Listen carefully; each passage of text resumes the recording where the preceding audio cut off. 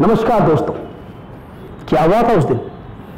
क्या हुआ था उस दिन जो इतनी बड़ी घटना घटी और लोगों को वहाँ से निकलने के लिए चारपाई का सहारा तक लेना पड़ा? अगर ऐसी घटना में किसी की जान चली जाती तो उसका जिम्मेदार कौन होता? वो भ्रष्ट अधिकारी या वो लोग जो वहाँ पर उमड़े थे? दोस्तों, वैसे तो आप जानते ही होंगे क्योंकि आमतौर पर जो चुनाव का समय होता है, सुबह साढ़े सात बजे से लेकर शाम साढ़े पाँच तक होता है। लेकिन चुनाव का समय सुबह नौ बजे से लेकर शाम चार बजे तक कर दिया, जो कि एक सोची समझी साजिश का हिस्सा था, क्योंकि वो लोग नहीं चाहते थे कि चुनाव का रेशो बढ़े, वो चुनाव का रेशो कम करना चाहते थे और अपनी साजिश में कामयाब होना चाहते थे।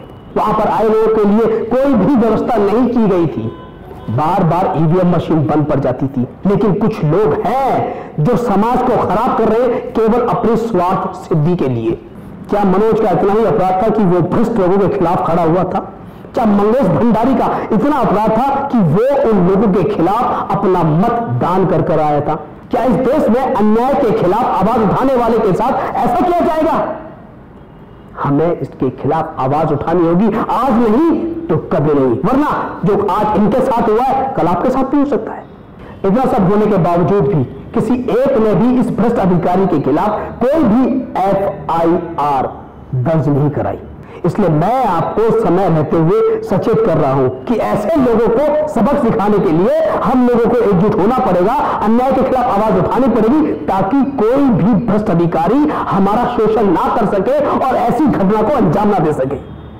और कोली समुदाय के लोग बहुत दयालु, वो चाहते तो इस अन्याय के खिलाफ, उस भ्रष्ट अधिकारी के खिलाफ शिकायत दर्ज करा सकते थे। लेकिन उन्होंने ऐसा नहीं किया, क्योंकि अगर वो ऐसा करते तो उस अधिकारी की नौकरी चली जाती और उसके बीवी बच्चे रोड पर आ जाते, जो वो नहीं चाहते थे। लेकिन इस भ्रष्ट अधिकारी ने अपनी नौकरी बचाने के चक्कर में मंगेश और मनोज के खिलाफ झूठे केस दर्ज किए। क्या यह सही था?